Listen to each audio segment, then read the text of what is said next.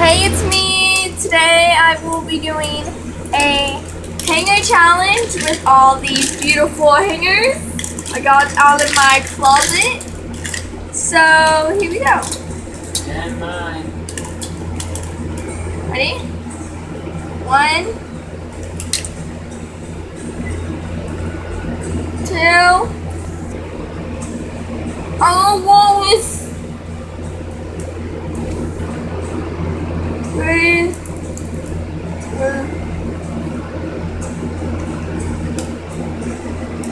Four. It tastes like metal. Ugh.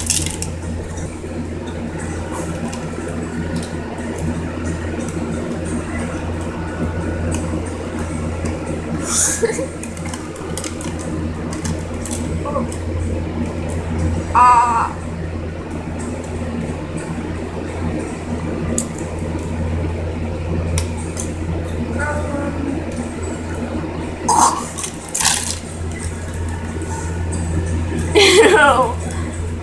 Uh, so challenge now over. I couldn't fit all of the hangers in my mouth. I can only fit seven, and it tastes really bad. It tastes like metal. So subscribe down below. Like this video if you liked it. No hard feelings if you didn't. So, bye.